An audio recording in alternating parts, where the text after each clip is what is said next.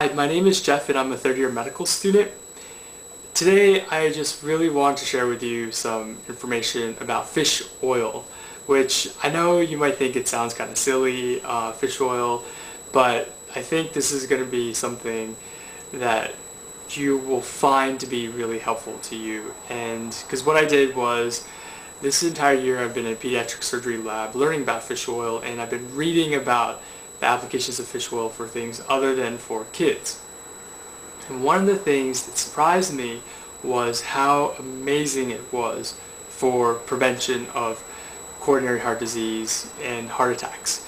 And what kind of inspired me or what um, pushed me to do this video now is because Tim Russert, a widely admired journalist, moderator of Meet the Press, he passed away recently from sudden cardiac death and fish oil actually has been shown to reduce the risk of sudden cardiac death by 45%.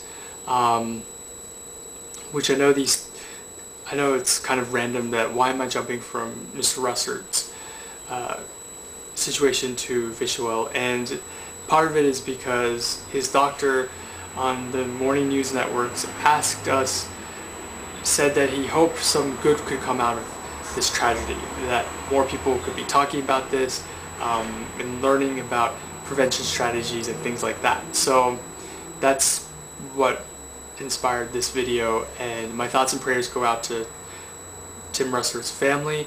Um, I greatly respect his work and I know that some of you or a lot of you may have been fans of Meet the Press as well and so hopefully um, this information that I share with you is something that you can share with your family on Father's Day today and also with people that you care about who have coronary heart disease and who may be at risk for sudden cardiac death.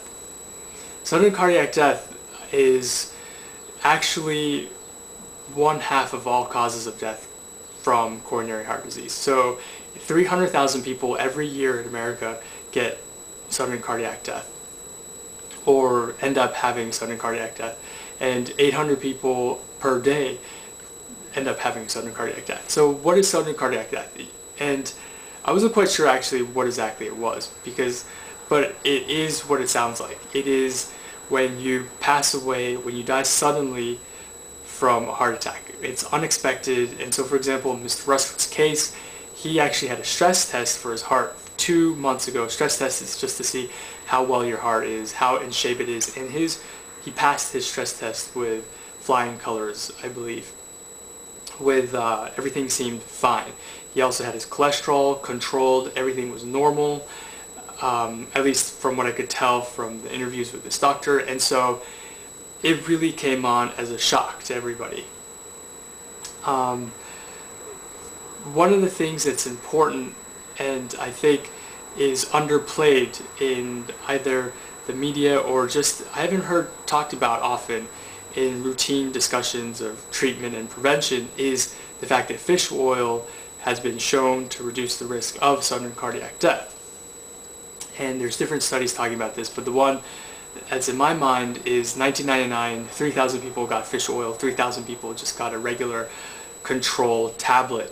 And the people who did get the fish oil, one of the secondary endpoints showed a 45% reduction in um, sudden cardiac death. Now, to be completely objective, secondary endpoints aren't as strong as primary endpoints.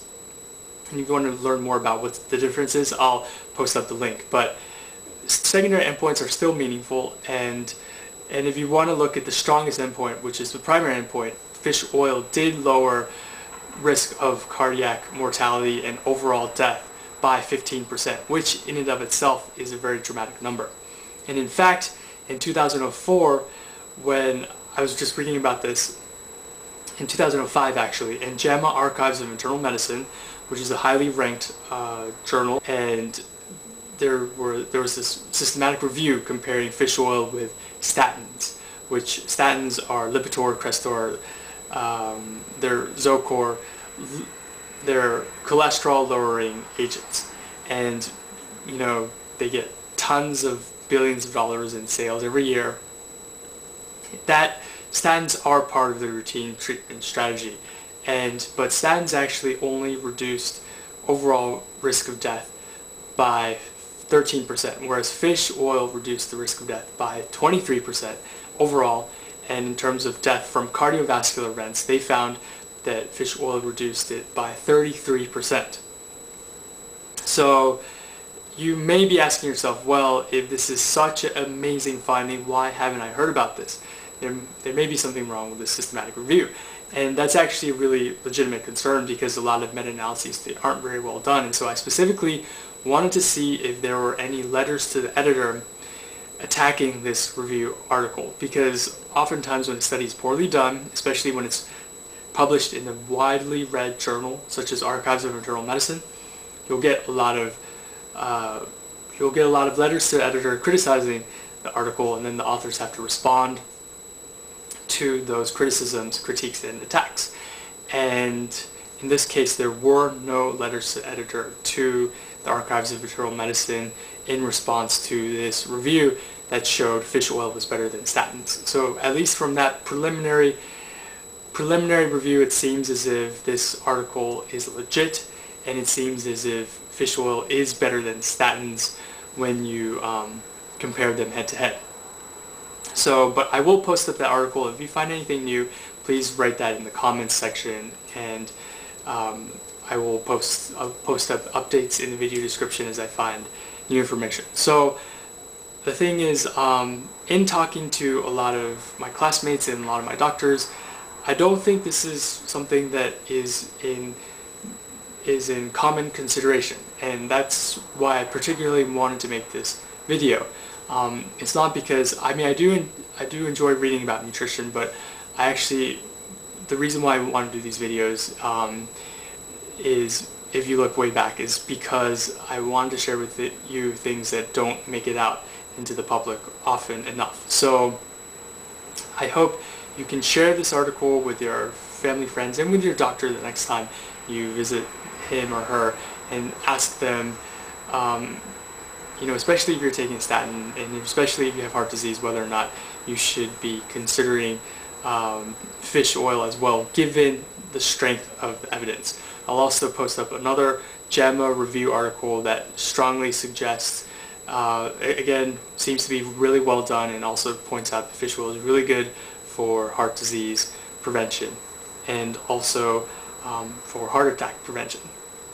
So in part two of this video I want to talk about practical tips about fish, fish, uh, fish oil, how much to take, what the American Heart Association recommends, things like that and hopefully that, that will be of more practical use to you but for this video I want to say that my again my thoughts and prayers go out to Mr. Russert's family and hopefully um, we can all take this time to, to think about ways of um, helping our families if they have coronary heart disease and um, help prevent sudden cardiac death. So thank you for listening.